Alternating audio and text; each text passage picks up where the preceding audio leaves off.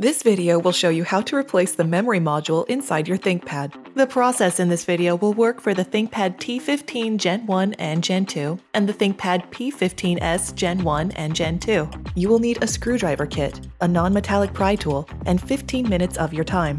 Caution! To avoid damaging your device with electrostatic discharge, work on a hard, flat surface. Use an anti-static wrist strap and mat, or discharge static by touching a grounded piece of metal. First, you must disable your battery before removing any parts. Make sure the power adapter is disconnected from your computer. Press the power button to turn on the system. Press the F1 key repeatedly to enter the BIOS setup menu. Use the right arrow key to navigate to the config menu. Use the down arrow key to navigate to the power menu. Press enter. Navigate to the disable built-in battery menu option and press enter. Make sure that Yes is selected and press Enter. The system will shut down and the built-in battery is now disabled.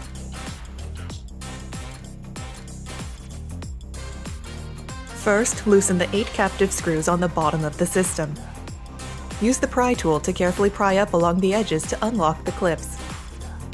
Follow this process slowly to avoid damaging your computer.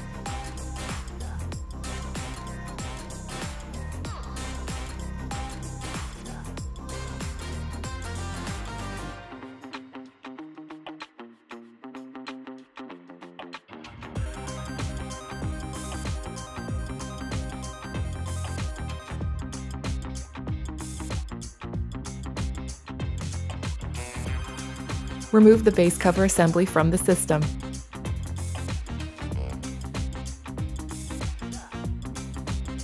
Lift the mylar and press outward on the clips to release the memory module.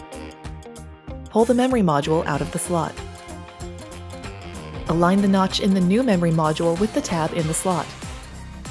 Insert the new memory module into the slot and press down to lock it into place. Align the base cover assembly with the system.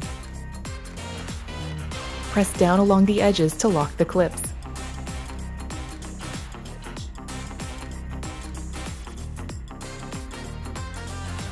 Tighten the 8 captive screws. Plug in the power adapter and connect it to your computer to re-enable the built-in battery. To learn more about your device, go to pcsupport.lenovo.com.